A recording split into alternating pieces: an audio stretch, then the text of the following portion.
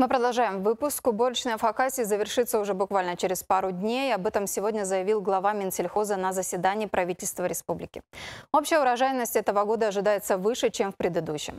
Выполнены работы на 93%, идут лишь в Орджоникидзевском и Алтайском районах.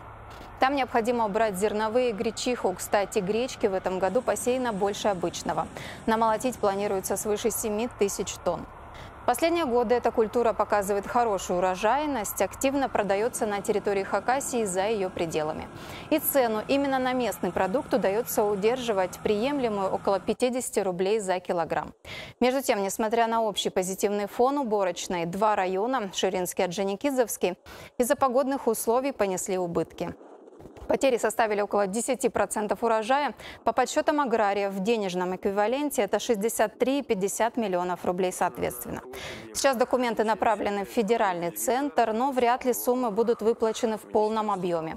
Москва ежегодно поддерживает сельхозтоваропроизводителей, но местные предприятия не спешат пользоваться имеющимися предложениями, которые бы финансово защитили в непредвиденных ситуациях. Хочу напомнить, что Минсельхоз ежегодно готов предоставлять федеральную субсидию на страхование посевов. В течение двух недель после окончания сева аграрии могут заключить договора со страховыми компаниями да, на страховой случай, именно вот от таких природных катаклизмов. Но, однако, наши производители неохотно идут на это. Из более чем сотни растеневодческих хозяйств у нас застраховали свои посевы э, лишь 6 предприятий в этом году. Нам пришлось 4 миллиона вернуть э, обратно в федерацию.